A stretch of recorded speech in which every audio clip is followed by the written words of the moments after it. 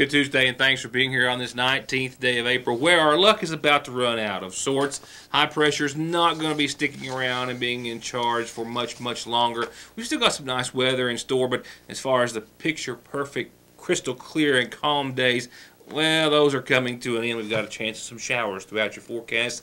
Temperatures are going to fluctuate as well. We'll tell you more about that, which all begins relatively soon, weather-wise, in just a few moments. Highlights tonight and headlines will include coverage of last night's regular session of the Salyersville City Council, discussions centered around a generator for the waterworks, unsightly and uninspected mobile homes and other structures, water rates on the increase on the city and county level, and some other information uh, pertaining to that subject as well as well as a recall. I wanted to pass along to you a whole lot of news out there tonight, but uh, I can think of several members of my family and a lot of friends that are going to be affected by this recall. And by and large, uh, we as human beings tend to ignore recalls and not see that uh, whatever product we have gets the appropriate repair or fix. And this could prove to be deadly for a very popular ATV, a line of ATVs nonetheless.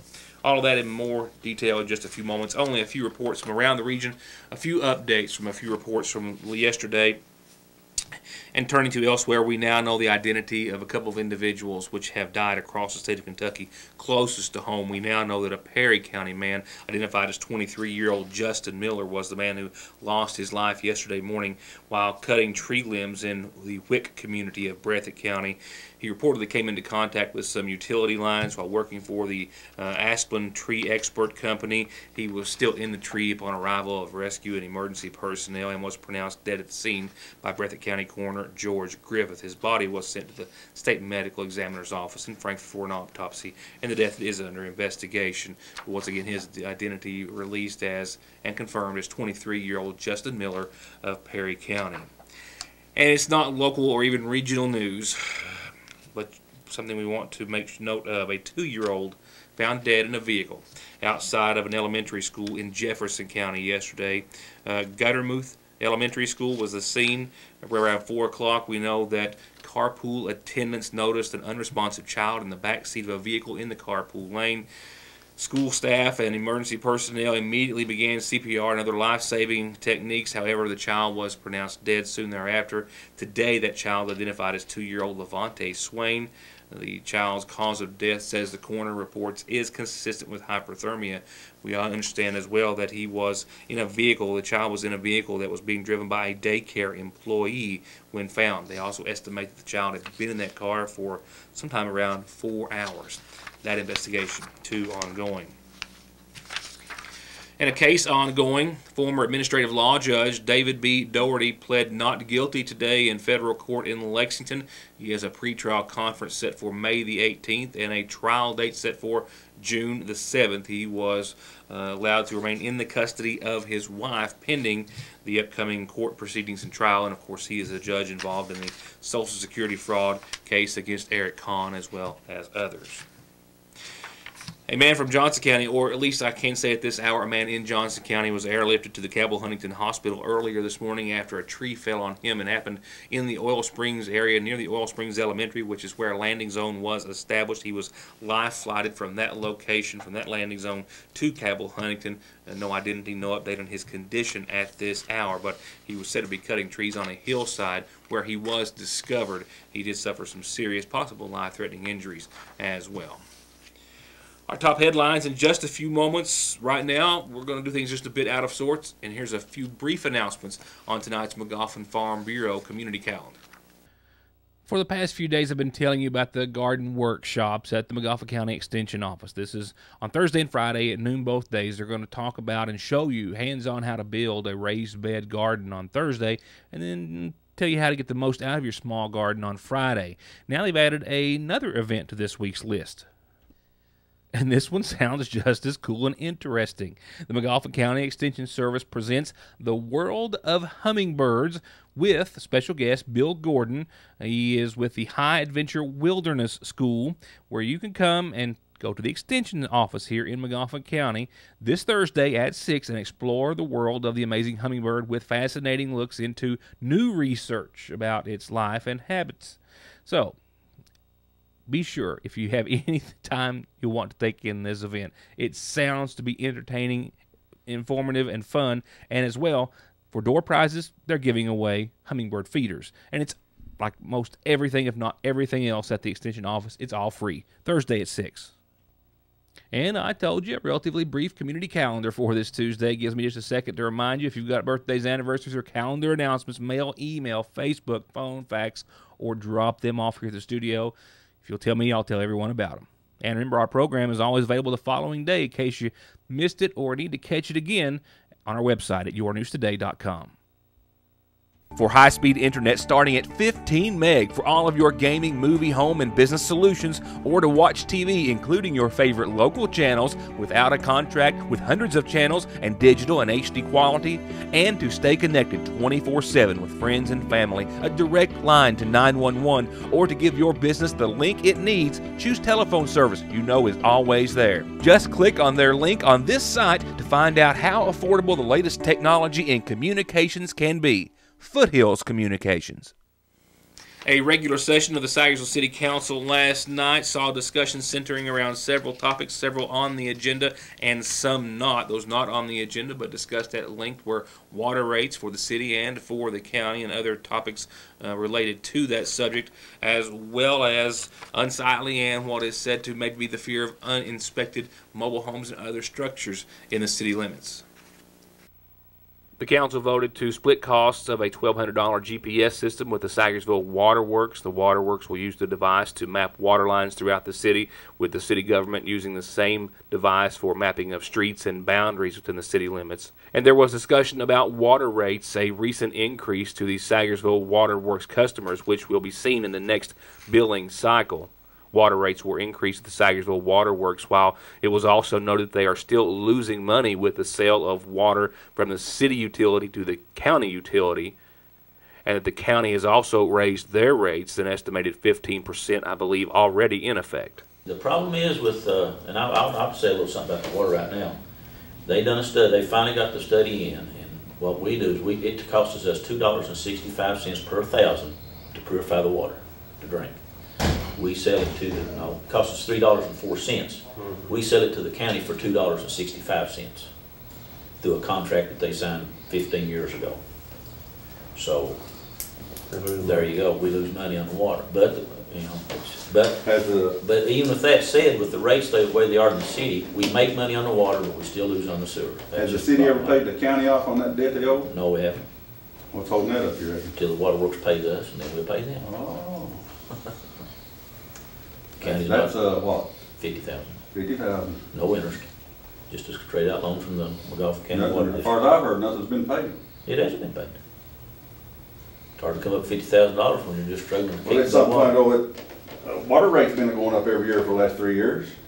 If you go back three years and see how much the water company was losing, and now you're saying it's breaking even, then you'd see where all that money's going, and what, what they've done to try to do it. And it's getting It costs ready, And much keep more to up. produce water. and it's getting ready to go up again, you said, so another No, increase. no, no, no. What we agreed to do when I took over, and we did, we said we was gonna pass the water rates on to the city at ten percent a year for three years. Right, They only raised it two years in a row. They didn't raise it last year, so we've got one year, and now they're just gonna raise it five percent instead of ten percent. So they're trying to keep it down and doing the best they can. But that's, uh, and then after this year, they're gonna start doing cost of living, like a one and a half or two percent is what they're talking about. So keep up with the cost of living, so. I mean, raise it constant. just raise it every year a little bit, you know, and not raise it. But if you've seen where they was at before, when I took over, when uh, AEP comes in here and says, well, they, uh, was a eighty thousand dollar electric bill, and on Friday, we're gonna turn the electric off. Of this would be good ideas if everybody, if it's making, if it had been making money all these years and they had the surplus they had twenty years ago and they hadn't squandered all the money up our hill, it'd been great. But they did. And now we are feeling the effect of it and we gotta do, just do the best we can, you know. Anywhere else, somebody probably went to jail over that stuff, but not here. They got away with it, you know, and that's fine. I ain't got no problem with that. They go get away with it. But we gotta move forward and we can't dwell in the past. And we gotta make it the best we can. And as long as I'm there, I'm gonna make it the best we can we, we got the best water in eastern Kentucky, probably the state, according to the state that comes in and monitors our water now. In a recent meeting, the Salyersville Waterworks raised rates on the water and sewage bill for their customers 5%. That will take effect the next billing cycle, I am told.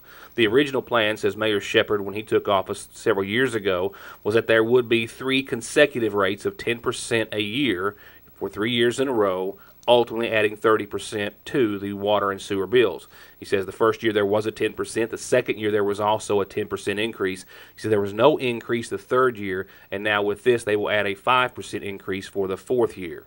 And he says he is still working to try to address the situation with the city selling water to the county cheaper than it costs the city to produce and treat that water. The mayor also brought up for discussion purchasing a large generator to run the pumps that take the water from the river to the treatment plant. Currently, there is a large generator at the Salyersville Waterworks which will operate it in event of a power outage or disaster such as the tornado of 2012.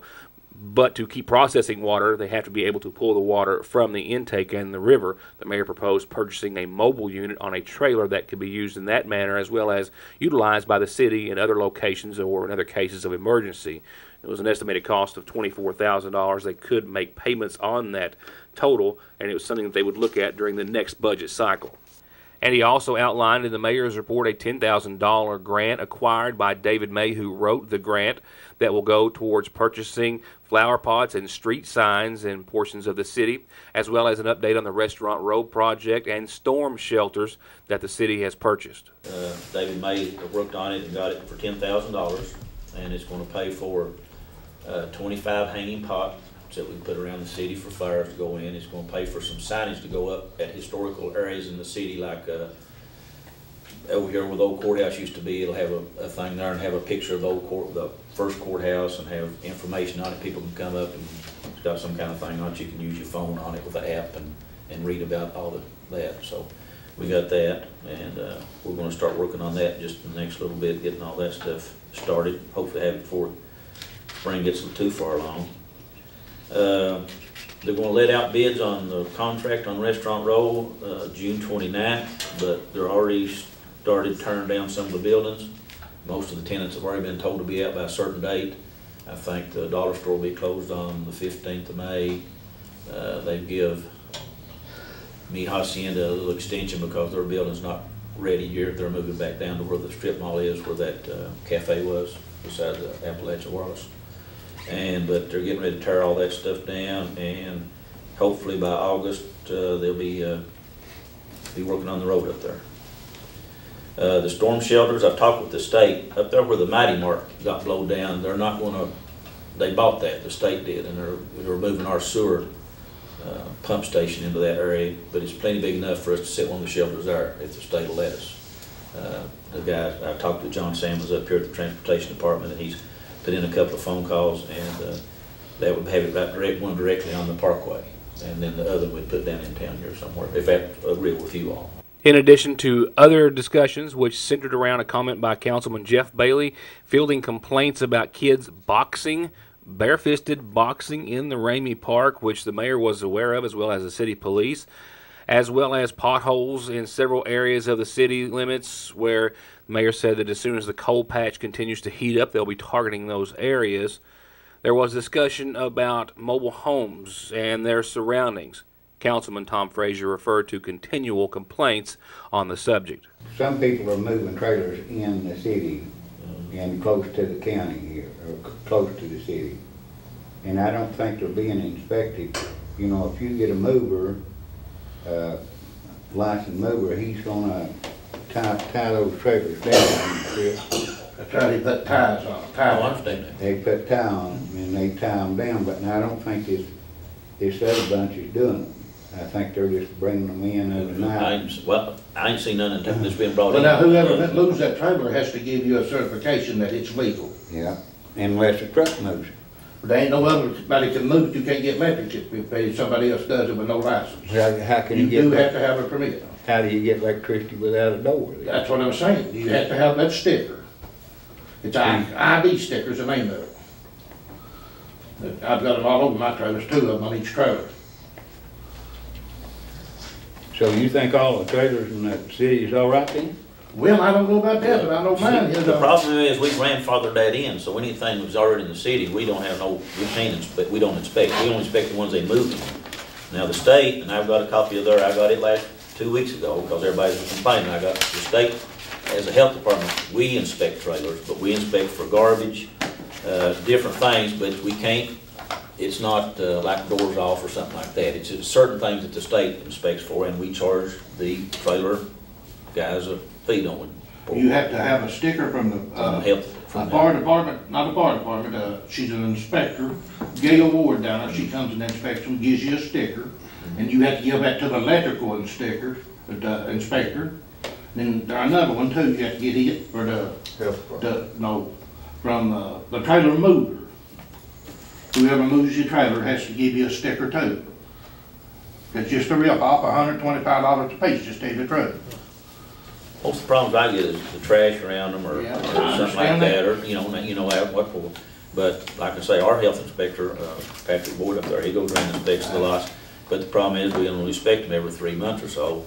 We go inspect them one month, we tell them to clean everything up, they clean it up, we go back out and look, it's clean, and in two more months, hell, they've got garbage piled out again, you know, it's, and it, and what we've decided, or what I've decided, and I've talked, is the last time we had a complaint, we wrote the property owner, because it's really the property owner, not the trailer renter, That's right, not, is, is responsible for that. that's right. So we can find, our ordinance says if they, if it's not just for trailers, but anybody that lets the garbage or something we build up, we can, we can fine them hundred dollars a day. That's, that's the ordinance. Not gonna have to be a trailer, you know.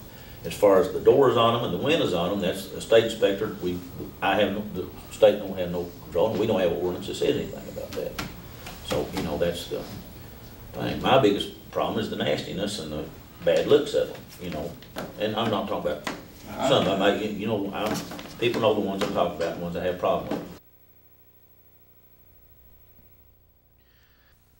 Our last headlines in just a moment.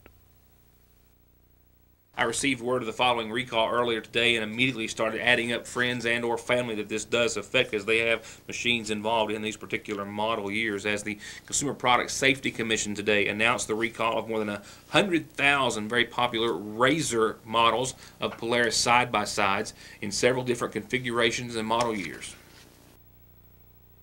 Reports are that these ROVs, as they are referring to them, recreational off road vehicles, have caught fire while consumers have been driving them, and that does pose serious fire and burn hazards to the drivers as well as passengers. As a result, the U.S. Consumer Product Safety Commission, in cooperation with Polaris, is announcing a recall of about 133,000 Polaris model year 2013, 14, 15, and 16 Razor 900 and Razor 1000 ROVs.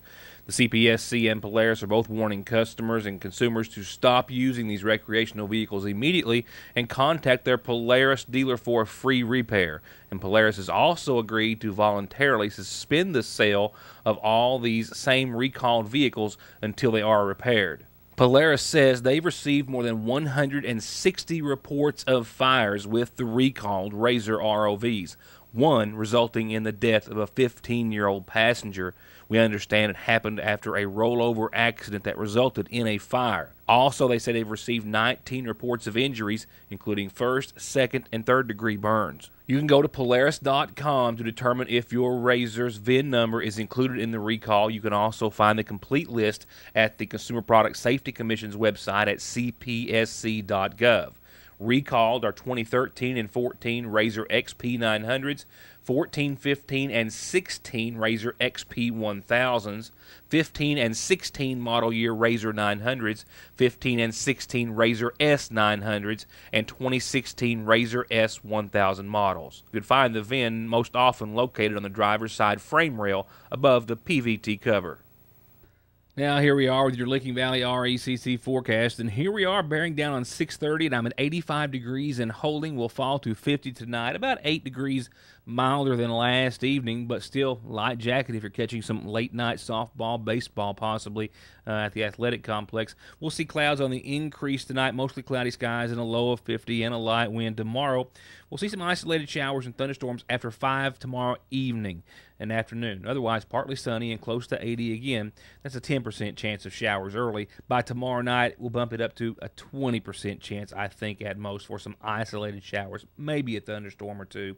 Thursday looks to be the wet one. We should see a front bring us scattered showers and thunderstorms uh, on and off throughout the day with a daytime high of 75. Winds gusting upwards of 16 miles per hour, possibly at times becoming uh, south, southwest. Thursday night, still a 50% chance of some showers, maybe a few thunderstorms, still cloudy skies. And we'll wrap up the work week a bit cooler for a few days on end. We have mostly cloudy and 73 on your Friday. Still can't shake a chance of showers and thunderstorms from that front. We'll have a 50% chance it will diminish as Friday goes on. Clear weather for certainty returns for the weekend. Saturday 72 and partly sunny. Sunny and 77 on your Sunday. And I think I've got near 80 and sunny again on your Monday as well. Going to wrap it up for this Tuesday. We're already working on news for tomorrow, as is quite and most often the case. One way or the other, it's going to have news that you'll only see with me. So we hope you'll join us then. For now, enjoy the rest of your beautiful Tuesday evening.